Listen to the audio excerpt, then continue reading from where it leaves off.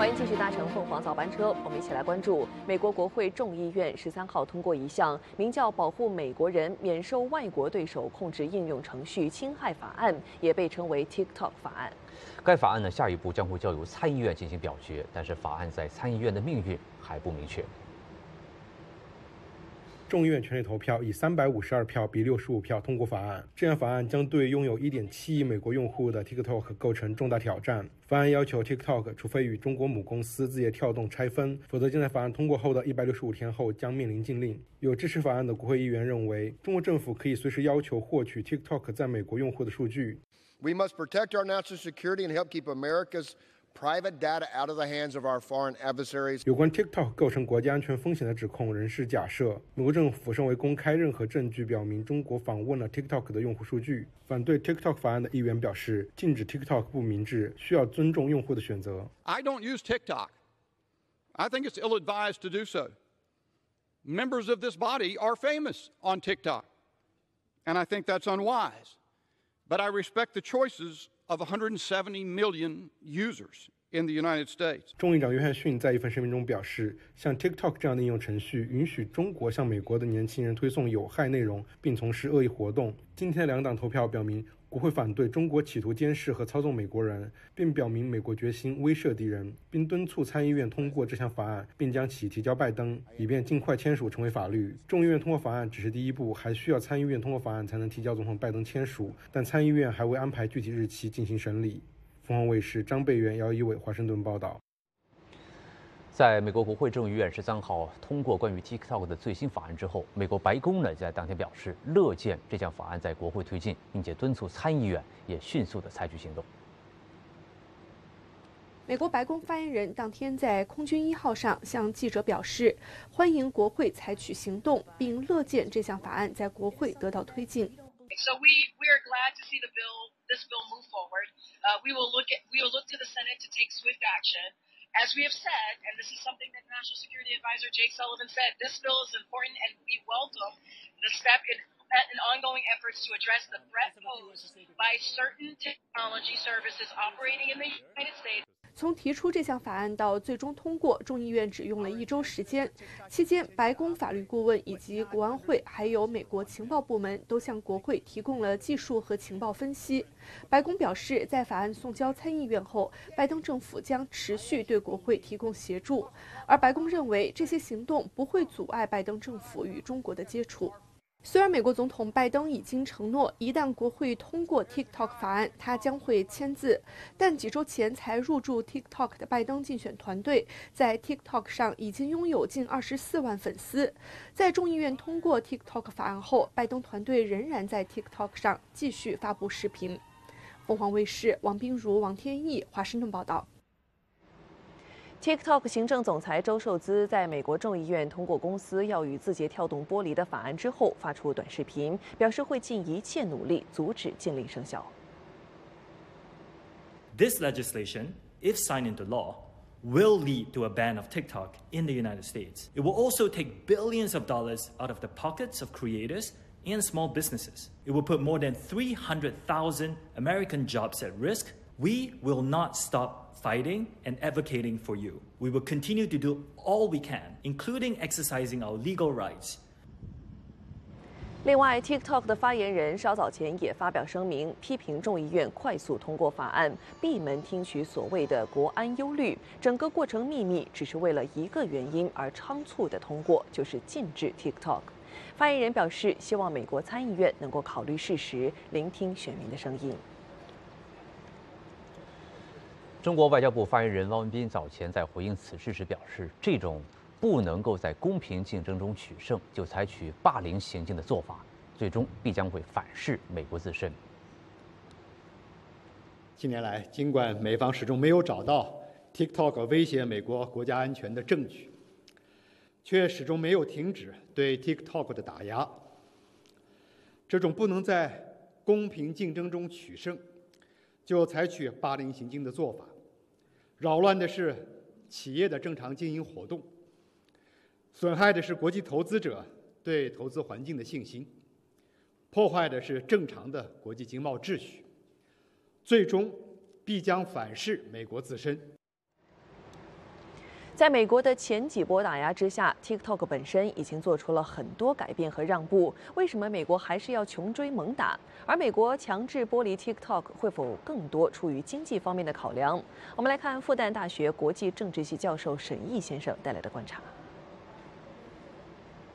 一个强盗对一个人说：“把你的钱交出来，我就不砍你。”然后我们关注的是这个钱的所有权问题，因为这个钱放在你身上不安全。就是这个东西？我们看到就是这样一个非常荒诞的场景。事实上，就是美国要干掉 TikTok，它有很多种理由，但核心一条就是在公平公正的竞争中，他拿 TikTok 没有办法，他拿中国没有办法，他没有办法用公平的方式去赢得竞争，于是他用抢劫的方式来结束这样来结来拿出了这么一个闹剧，这是非常令人可悲的一件事情。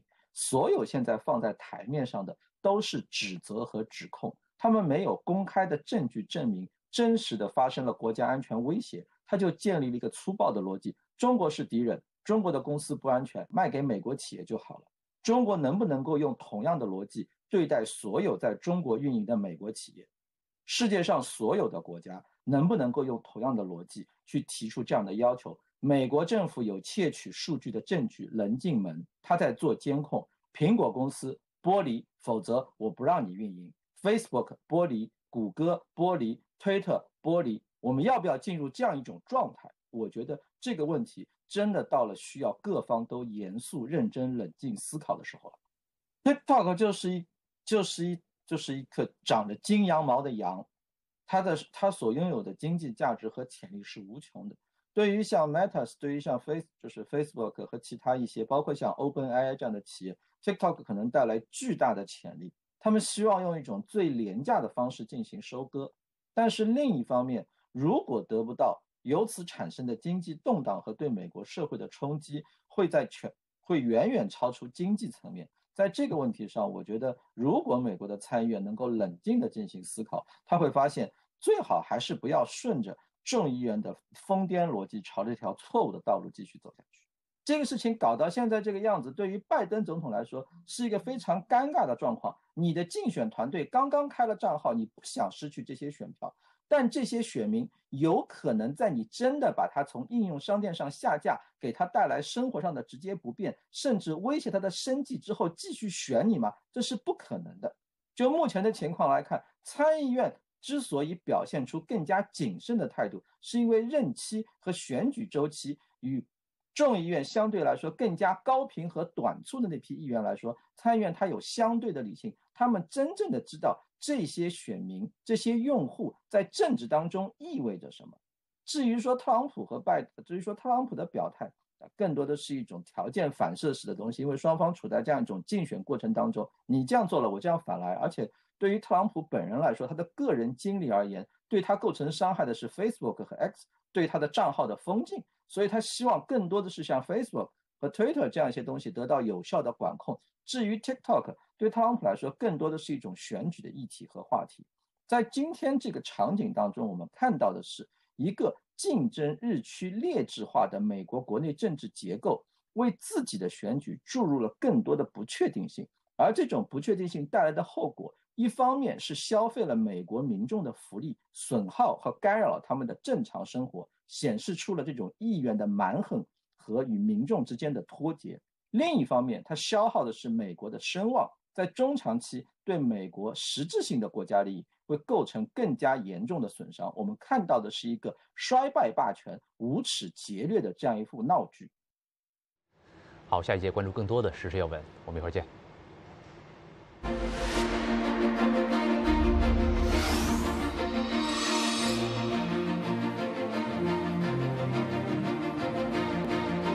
回来，二零二四俄罗斯总统选举将在十五号起一连三天举行，提前投票正在进行当中。截至十二号，已经有超过四万人投票。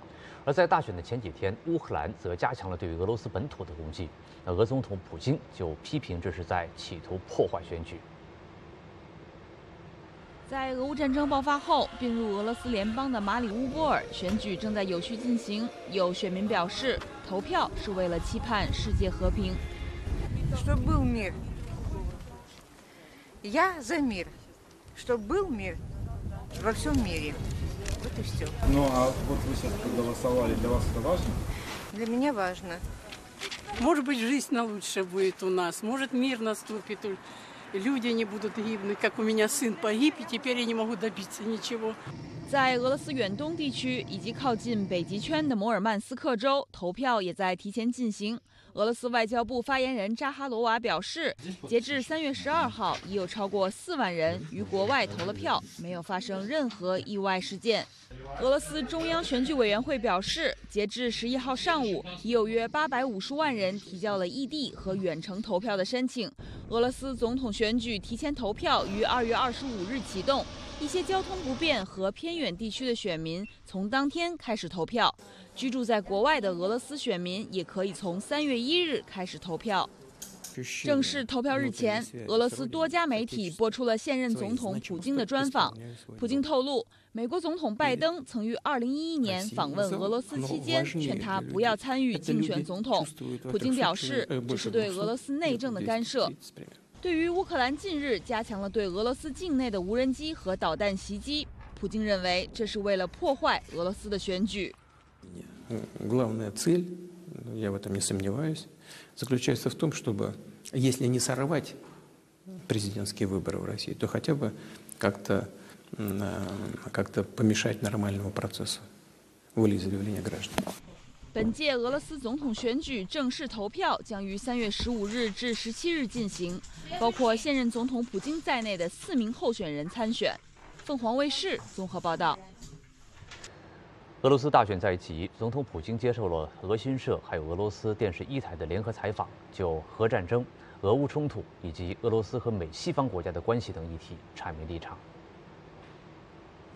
在十三号发布的采访中，普京表示，从未有过在对乌克兰特别军事行动中使用战术核武器的想法。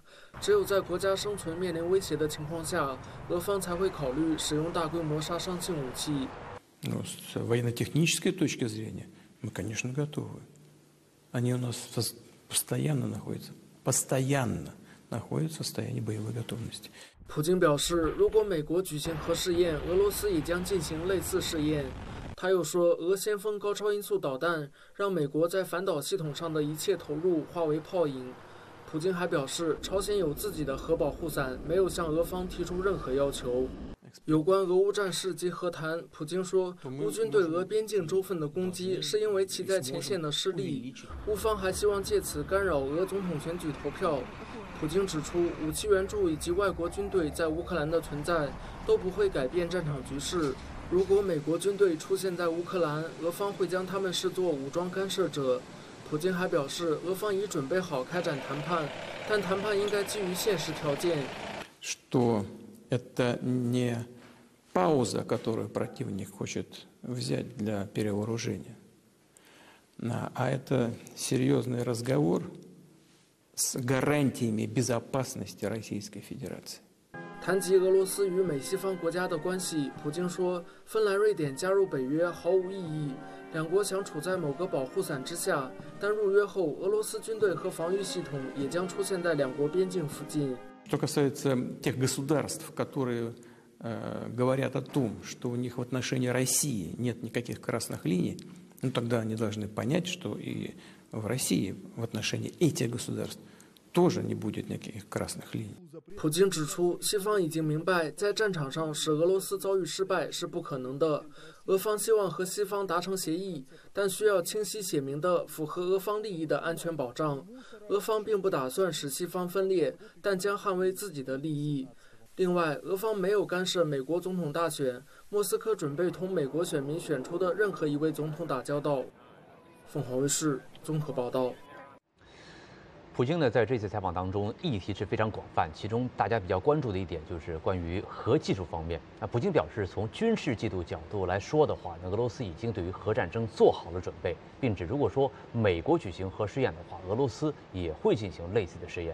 而相关话题，我们继续来听一听时事评论员郑浩先生的分析解读。郑先生您好，你好，你好，郑子。那看普京此时发表核武器论，您认为他的用意何在？另外，这些言论释放出什么样的信号呢？呃，普京这次接受俄新社和俄罗斯一台的专访呢，是在一个月前，呃，美国 Fox News 啊，Fox News 就是福克斯新闻前主播呃卡尔森，呃，对普京进行个人的专访，一个月，刚刚刚一个月的时候啊，进行了第二次的一个专访。那么当然了，和这个卡尔森的那次专访呢，呃，完全不同，因为呢，卡尔森呢他是美国人。呃，他是从美国西方的视角啊来询问啊，这个普京有关西方国家搞不懂的一些问题啊，包括俄乌冲突啊，如何结束战争啊等等啊，和这个西方的关系啊等等。但是这一次，普京接受啊本国的这个官方的媒体的采访，嗯，他主要呢是要释放出一些在一些重大的一些敏感的问题上的原则立场。所以呢，那次啊，如果是只是一个解释性的一个专访的话，那么这一次是对俄罗斯啊一些重要的一些呃原则立场啊，那么发表他个人的一个呃一个一个见解啊，所以呢性质上是不同的。那么当然了，大家都比较关注的就是呃这次的专访呢啊，普京用了很长的时间来讲述了俄乌战争，包括核武器啊，包括这个呃在什么情况下使用核武器，其中呢有三段话啊。是最为关注的啊！第一段话呢，就是，呃，普京说啊，从来没有想过在乌克兰使用战术核武器啊。他还反问啊，为什么要使用战术核武器呢？第二的话呢，就是俄罗斯啊已经做好了准备，特别是核打击啊，就是三位一体、三位一体的核打击，俄罗斯有这样的一个能力。当俄罗斯的国家安全受到威胁的时候啊，就会使用大规模杀伤武器。第三一段话，我们新闻片当中没有。呃，但是呢，我认为呢还是非常重要的啊，因为它也是结合了当前俄罗斯所面临的一个问题。呃，普京说呢，就是如果说在乌克兰的领土上出现 NATO 啊，就是北约的呃军事人员的话，那么将会被俄罗斯视为是侵略者。那么在那种情况下，俄罗斯将会采取坚决的反制的这个这个行动啊，和这个乌克兰一样，会采取这种打击的行动。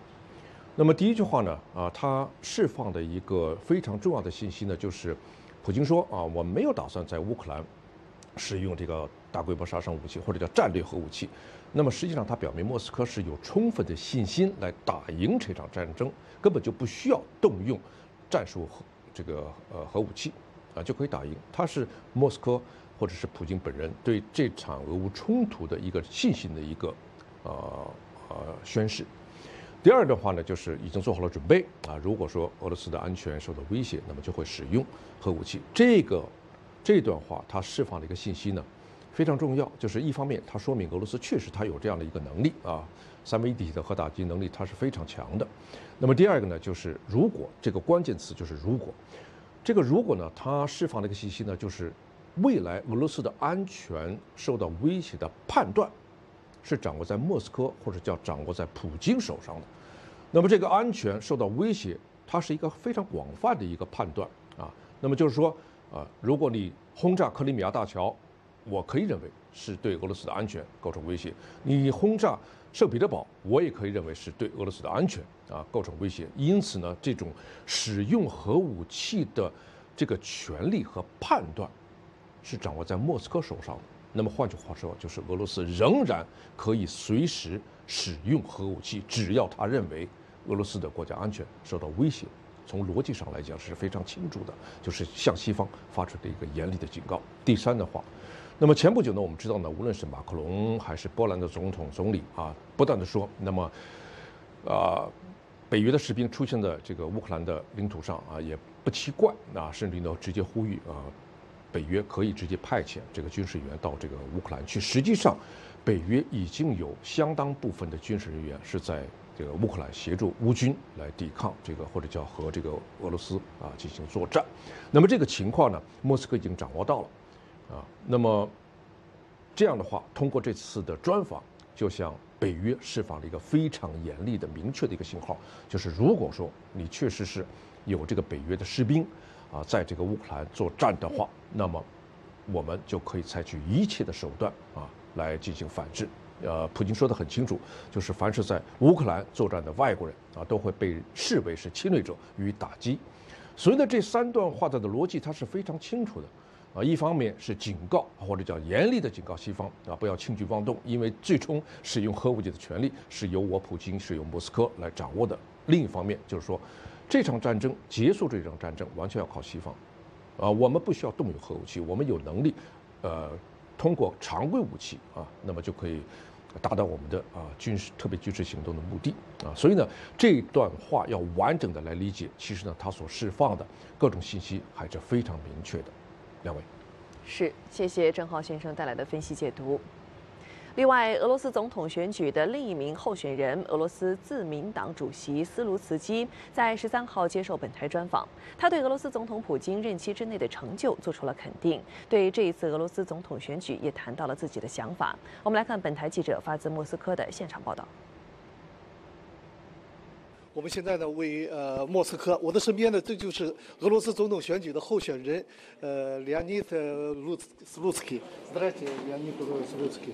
Это сейчас это Россия и Китай это считает юань долларов уже проблема, а китайские страны особенно наш посол уже сказал, это Китай не участвует в санкциях в России. А как вы считаете, это доллар поменять, это рубли, юань, уже договаривать, это уже 15 лет больше? Россия, Китай, стратегические партнеры.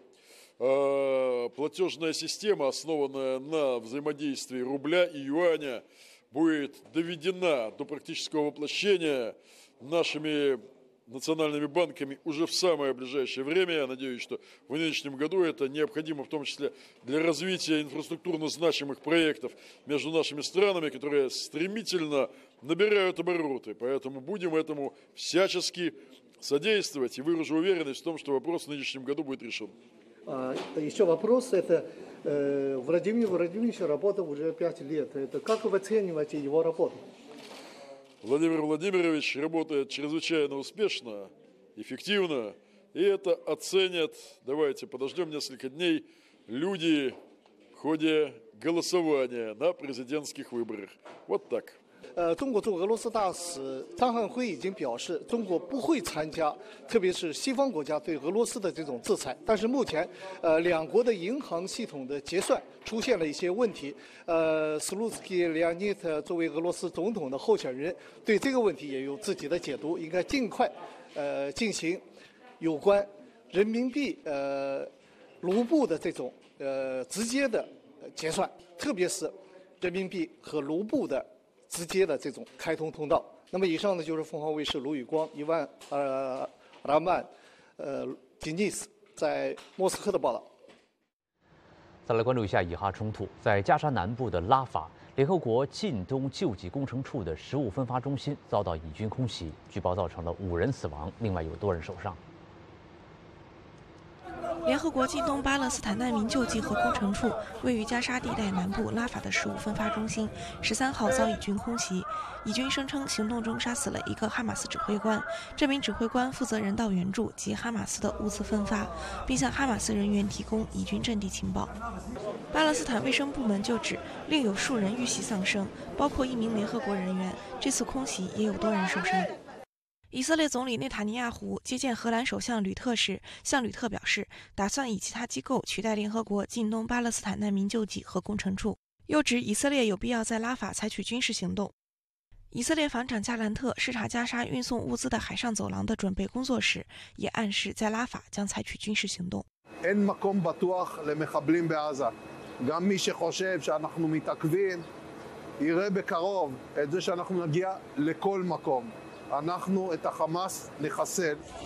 以军表示，计划与国际组织合作，将拉法约一百四十万个巴人转移到加沙中部的划设区域，将会提供粮水、临时房屋等人道援助。相信是为了展开对拉法的地面行动做准备。以军表示，在加沙南部汉尤尼斯，三月开始至今，剿灭超过一百名哈马斯武装分子。以军据报开始从汉尤尼斯撤军，位于北部的哈马德城住宅区被毁。半岛电视台报道，近东救济工程处的报告指，以军队在加沙俘虏的八人广泛使用酷刑，其中包括二十一名工程处工作人员以及十五名家属，但以色列否认。以色列议会通过经修订的2024年度国家预算，增加对以色列打击哈马斯的拨款。国家预算修订后，增加了国防开支经费和对受战事影响的家庭和企业的赔偿。在塞浦路斯，工作人员用货车装载救援物资，在送往拉纳卡港，准备用货船运送到加沙。当地官员表示，当第一艘救援船将人道物资运抵加沙后，将有第二艘载运力更为庞大的救援船接力，执行人道救援任务。凤凰卫视综合报道。我们来看一则刚刚收到的最新消息。根据英国媒体的报道，中共中央政治局委员、外交部长王毅将于下周访问澳大利亚，并将在二十号与澳大利亚外长黄英贤举行会谈。预计双方将会谈及人权、地区安全等问题，还会就推动消除两国剩余贸易障碍的举措。澳大利亚总理阿尔巴尼斯在十四号表示，期待王毅下周访问堪培拉。另外一方面，再来看到，根据伊朗媒体十三号的报道，伊朗、中国和俄罗斯在北印度洋阿曼湾附近举行的安全纽带二零二四联合海军演习进入第二天，演习成功歼灭假想敌。据伊朗国际电视台报道，伊朗、俄罗斯和中国海军参演舰艇演习了各种战术模式的编队，进行打击指定目标的演练。演习第三天将进行救助着火船只、解救被劫持商船、开展夜间空中目标行动等战术作战演练。此次演习面积达1.7万平方公里。伊朗革命卫队海军派出三艘国产军舰和两艘护卫舰参加此次联合军演，其中包括最新加入革命卫队海军舰队的三艘国产军舰，以及革命卫队海上直升机和海军陆战队都参加了此次演习。برای یگان ها با ملیت های مختلف اهداف مشخصی با رنگ های مختلف تهیه شده و این تمرین در شرایط عملیاتی بر علیه قایق های تند و احتمال حملات انتحاری استفاده میشه که ما در زمان صلح این تمرینات انجام میدیم که در شرایط عملیاتی و جنگی آمادگی کامل برای این برخوردار داشته باشیم. 此次演习以共创和平与安全为主题，旨在共同维护地区海上安全。演习以反海盗、搜救为主要内容，分为港岸对接、海上演习、总结闭幕三个阶段，有助于加强参演国家海军之间合作交流，共同构建海洋命运共同体。阿曼、阿塞拜疆、哈萨克斯坦、巴基斯坦和南非的海军代表也参加了这次演习。据报道，演习目标还包括加强国际海上贸易安全、打击海盗和海上恐怖主义、人道主义措施、海上救援领域的信息交流以及作战和战术经验交流。这是三个国家近年来举行的第四次海上联合演习。王卫视郑开李、穆森德黑兰报道。长达八年的两伊战争虽然已经过去接近四十年，但是战争的创伤依然存在。时至如今，两伊地区的边境都是一个敏感的战略要地。本台记者作为唯一的华文媒体，应邀前往了两伊边境的阿尔万德河采访。我们来看本台记者发回的系列报道第三集。我现在所在的位置呢是两伊边境的阿尔万德河。阿尔万德河呢，在波斯语的意思呢是伟大的河流。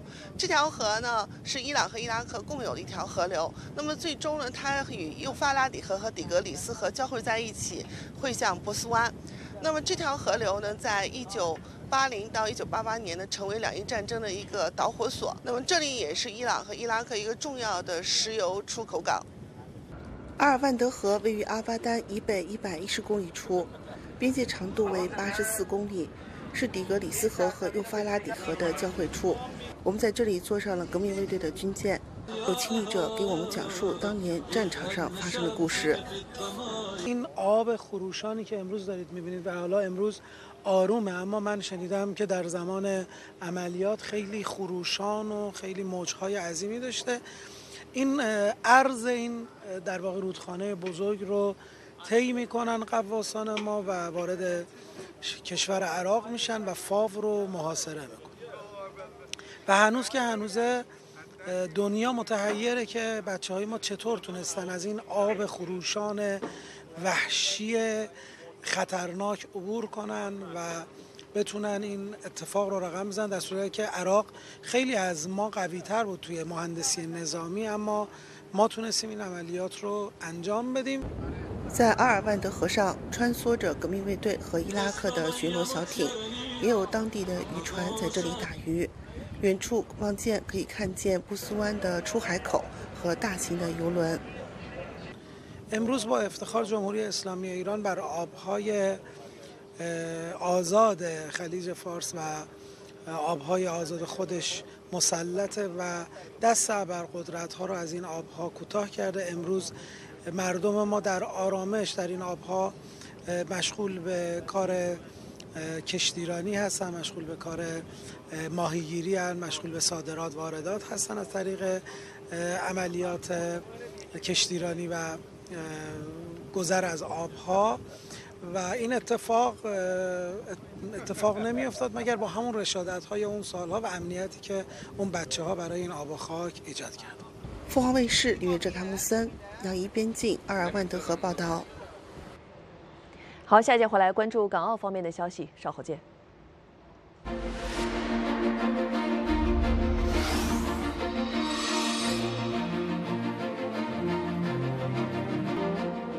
欢迎回来，焦点转到香港。香港特区政府在十三号晚间发表声明，强烈谴责反华组织香港监察与十六名联署人刻意误导公众，抹黑《基本法》第二十三条立法当中的披露他人犯叛国罪规定是针对宗教，企图挑拨宗教人士和信众对立法不满。政府发言人指出，宗教自由并不保障任何人进行严重犯罪行为不用受到法律制裁。公民权利和政治权利国际公约也规定，宗教自由可以因保障公共安全等为由予以限制。又指，一般市民不论是否为宗教人士，绝不会干犯叛国罪，只会在非常极端的情况，包括向中国发动战争等才会干犯。发言人批评香港监察和联署人丝毫没有提到有关国家的相关法律，便假借宗教议题无理攻击特区政府的立法工作，是赤裸裸、厚颜无耻和野蛮的干预，呼吁市民认清该反华组织的真面目。香港立法会维护国家安全条例草案委员会十三号继续举行会议，并且完成了对条例草案的逐条审议。那法案委员会表示，接下来将会开会审议草案修正案。香港特区行政长官李家超和行政会议上周决定，八号将维护国家安全条例草案刊宪。当天，香港立法会加开特别会议，完成首读并进行二读。根据香港法律制定流程，法案通常在动议二读后会进入辩论中止待续，并交付内务委员会决定是否成立法案委员会审议法案。法案委员会在八号当天首次召开会议，逐条审议维护国家安全条例草案中的所有条文。并在随后的周末两天密集召开会议，截至十三号已经完成了对条例草案的审议。而截至十三号，法案委员会已经举行了二十节会议，会议合共超过三十八小时。接下来还将继续开会审议草案修正案。待法案委员会完成研究法案后，将会通知内委会，并由内委会恢复二读辩论。期间，立法会将进行表决。待进行表决通过后，法案会交由全体委员会审议及表决动议三读。若议案最终获通过，法案将会提交行政长官签署，然后再刊宪生效。凤凰卫视张佑仁香港报道。中央政府驻澳门联络办公室与澳门中联办召开今年的全国两会精神传达会。会议由澳门中联办副主任黄有全主持，澳门全国人大代表团团长卢义良。全国政协特邀澳门人世界召集人屈世昌分别传达两会精神。何厚华发言时表示，澳门必须赶上国家发展，被动与守旧思维只会令澳门脱离大势。澳门需保持奋斗和开放态度，不断坚持高度配合内地发展和改革开放形势。唔可以永遠停頓喺幾十年前嘅思維，覺得我哋澳門係一個。自由經濟體系已經係個開放城市，所以改革開放係內地嘅問題。贺一誠在讲话时强调，澳门将继续全面贯彻一国两制，配合中央角色部署，坚持防御外部势力干扰，加快推进澳情一体化发展和积极参与粤港澳大湾区和葡语国家之间的合作。澳門特區必須充分發揮高度自由開放同國際規則順暢銜接，國際聯擊聯繫廣泛等獨特嘅優勢，在融入國家發展大局中，實現自身更好嘅發展發展。郑信聪在讲话时强调，在复杂国际环境和美国等西方国家不断妨碍中国发展下，更能凸显出爱国爱澳治理方针的重要性。坚持爱国者治澳是关系澳门长治久安的大是大非问题。特别行政区政府和各领域的管制团队要树立治理导向，确实担负起治理澳门的主体责任。凤凰卫视记者陈乐林在澳门报道。香港快运往返香港和北京大兴国际机场的新航线十二号正式首航，计划每天执行一个往返航班。香港快运行政总裁毛杰琼接受本台专访时指出，那今年公司目标将内地航班的业务占比从过往的百分之五突破到百分之十。以低成本著称的香港快运航空，十二号起正式开通来往香港和北京大兴国际机场的航线，每日一对班次。香港快运行政总裁毛杰琼日前接受凤凰卫视专访时表示，基于公司价格定位及内地市场的潜力，他希望进一步开通内地二三线城市航点及发掘更多潜在客户。我们的航班数量内地是占到百分之五，我希望今年呃呃或者接下来两三年能够突破百分之十，甚至说长远的目标，我们希望是能够三分之一，因为我们对呃内地的市场还是非常看好的，有这么几个原因。第一的话呢，嗯，在内地。就是看民航的初步的一些数据吧，在内地的话，其实坐过飞机的大概是三亿左右的人口，也就是说还有近十亿的人口是从来没有坐过飞机。那么在呃平均每两个内地的人。每年只有一次的坐飞机出行的机会，所以这个幅度，呃，这个比例呢，其实和其他的国家比是远远低于的。所以我们觉得这是一个非常有潜力的市场，而且我们的低成本航空的模式就是要希望给更多的人能够坐得上飞机，呃，飞得上，飞得起，飞得好。随着香港自由行放宽及内地东南亚国家免签安排等一系列利好消息陆续公布，毛杰琼相信会大幅刺激内地旅客的出行需求。面对市场竞争，他强调，快运会通过高性价比和差异化的服务，如通过维持网络的特色性，像是日本鹿儿岛、泰国清迈等小众航点的运营，配合品牌推广及增值服务，开拓潜在市场。而香港快运航空有四分之一的旅客来自大湾区青年，这也令他对内地市场的增长充满信心。毛杰琼强调，香港快运在去年四月已经恢复疫情前百分之百的航空运力，今年第一季度已经达到了疫情前的百分之一百四十，未来也将积极招聘人手和扩充机组，为巩固香港作为航空枢纽的地位贡献力量。在过去的十二个月里边，我们的机队也在不停的扩充，每四十天就有增加一架新的飞机，这也能支持到我们接下来的呃进一步的进一步的增长。然后我们的也在积极的招聘人手。去年的话，我们招聘了近五百名的呃呃空服员和飞行人员。那么今年我们将将会继续招聘呃超过五百名的机组人员，来进一步呃呃呃助力我们的增长。但毛杰琼重申，人手不足依旧是业界面临的一大挑战。他期望特区政府继续积极引进大湾区人才，并就机场的基建设施引入更多智能化服务，以缓解业界对人手的需求。作为今年首条新航线，香港快运表示希望通过香港、北京、大兴的这一条航线，促进两地区域经济的发展。而今年的下半年也将陆续有其他城市的站点加开。凤凰卫视季思清、邓亮堂、严静熙在北京报道。河北省三河市应急管理局在十四号凌晨一时许发布情况通报，称十三号七点五十四分，燕郊镇一个商户因为发生疑似燃气泄漏而引发的燃爆事故，事故已经造成了七人死亡，二十七人受伤。截至目前，现场的清理以及基本完成，伤者全部送往医院救治，其中十四人已经出院，而事故原因正在调查当中。好，我们下节回来继续关注财经消息，稍后见。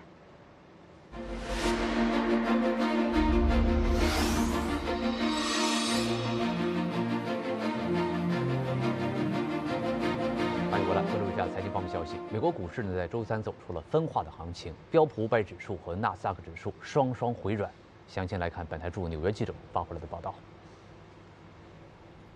我们来看星期三华尔街股票市场走势情况。美股周三走势全天都是好坏参半的格局。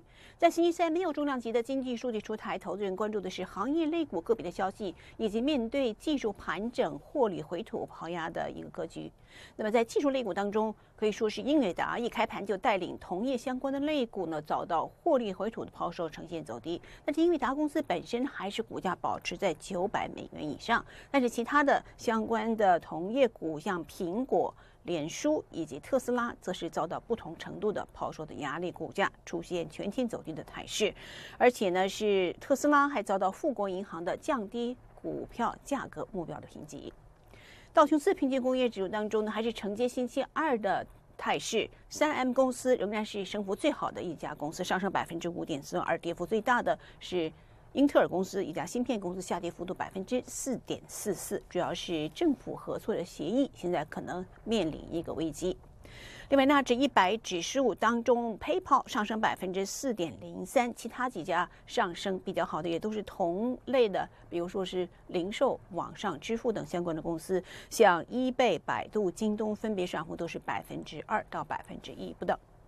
标准普尔五百指数十一大行业股当中，能源类股则是升幅相当的亮丽，主要是消息传来，乌克兰又袭击俄罗斯的产油设施，所以推升油价，对能源产业类股造成价格的上面的支持。那么在星期四还有重要的美国的 PPI，也就是批发物价指数出台，所以呢，这也是。导致星期三股价的走势横向盘整，投资人持观望心态的重要原因之一。收盘时，十年长债收益率是百分之四点一七八，油价上涨百分之二点七八，是七十九块七毛二一桶做收，金价也是上涨百分之零点六八，两千一百八十点八零美元一盎司做收。以上是星期三情况，凤凰卫视庞哲纽约报道。香港方面，一传媒创办人黎智英被控违反香港国安法的案件十三号续审，控方传召曾与黎智英案的共谋被告一同众筹登报的第四位从犯证人李宇轩出庭作证。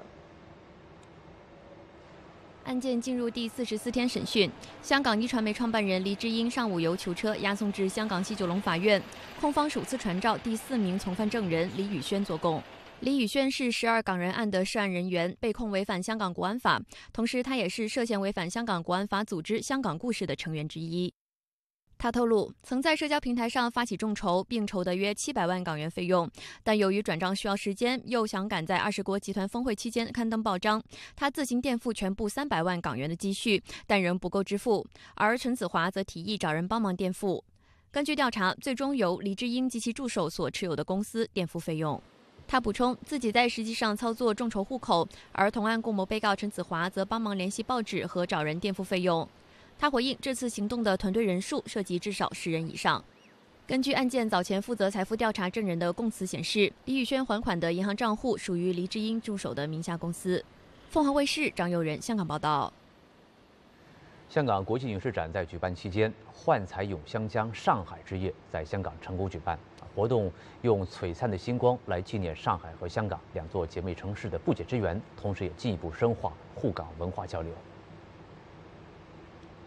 从黄浦江到湘江，从浦江轮渡到天星小轮，上海和香港在文化基因方面有着众多相似之处。随着电视剧《繁花》的热播，也拉近了上海与香港之间的距离。上海国际影视展举办期间，幻彩咏香江上海之夜在天星小轮上汇聚璀璨星光。电视剧《繁花》演员代表钟镇涛、郑恺、童晨杰，以及上海籍香港艺人杨颖等出席活动。在《繁花》中饰演黄河路小王子魏总的演员郑恺是第一次乘坐天星小轮，吹着海风饱览维港夜景。郑恺在接受凤凰卫视访问时说：“希望有机会能来香港拍戏。一个城市有一条江或者有一个海，对于这个城市来说的气质会很不一样。然后香港和上海都是。”呃，都是有水的地方，对，所以我觉得，呃，特别水是聚财嘛，对，也聚人气嘛，所以特别特别好的一点就是，啊，我当然希望可以有机会来香港拍戏了，因为其实身边挺多呃香港的艺人啊、演员啊来大陆发展的，我们也都成为了好朋友，所以我希望有机会的话可以也来香港拍戏，香港这么舒服，环境那么好，对啊。繁花掀起了现象级文化热潮，包含着沪港两座大都市在文化、经济和社会层面的渊源。在上海成长、在香港出道的艺人杨颖，对这两座城市也有着特殊的感情。我是在上海读书读到初二，然后在香港从初三开始继续念的，中间反正因为语言也是闹了很多很有趣的事情。但是我同样感受到的是，其实两边的人都是一样的这么热情和善良。嗯，我觉得是在我童年的生活里是给了我非常多美好的记忆的。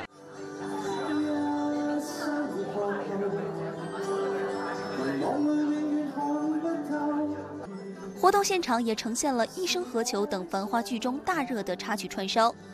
粤语金曲仿佛再次模糊了香港与上海之间的距离，让我们在香港看到了上海，也在上海看到了香港。剧集《繁花》是近年沪港影视合作的成功范例，《繁花》的盛放来之不易，但相信上海之夜后，沪港合作的璀璨将不止于《繁花》。凤凰卫视王舒香港报道。香港国际影视展继续进行，凤凰卫视全媒体矩阵也继续亮相展厅。而凤凰卫视《我也学一招》节目邀请来到了展位，邀请到了大热电视剧《繁花》的主创团队，共同体验武术招式，一度在展会掀起了功夫潮。今年是著名武侠小说家金庸的百年诞辰。凤凰卫视十三号在香港国际影视展展区举办活动，我也学一招。节目主持人与吉祥物小树蛙邀请现场观众及参展商共同表演功夫动作，重现武侠招式，同时启动“我也学一招”之寻迹金庸项目。而内地大热的电视剧《繁花》的主创演员们也来到凤凰展区，参与“我也学一招”互动。在剧中客串香港厨神一角的著名演员钟镇涛，在共同参与凤凰卫视活动后表示，期待香港年轻电影人能利用香港优势重振粤语片市场。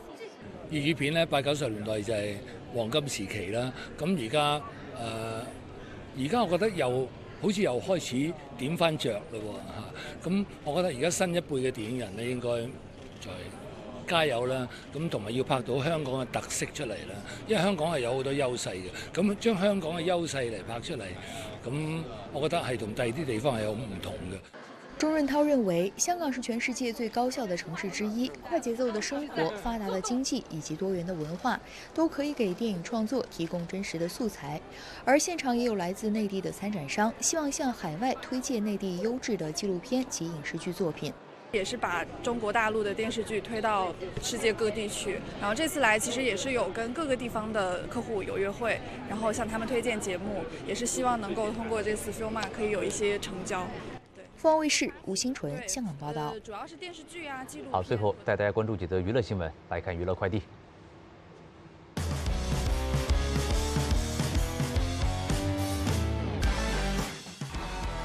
薛佳燕出席活动，演唱她的名曲《皆大欢喜》，立即炒热现场气氛。